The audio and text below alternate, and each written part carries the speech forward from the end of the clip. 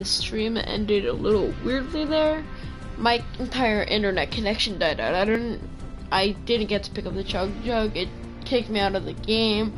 I'm pretty sure there was a scar there and a couple med kits in that chug jug and they were a bunch of ammos, mini shields and stuff. Ugh. I don't know. I'm gonna end the stream here. Thanks for watching and bye.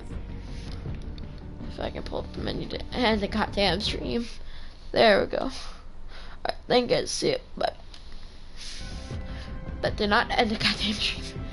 Ah, end stream. Alright, see you guys. Bye.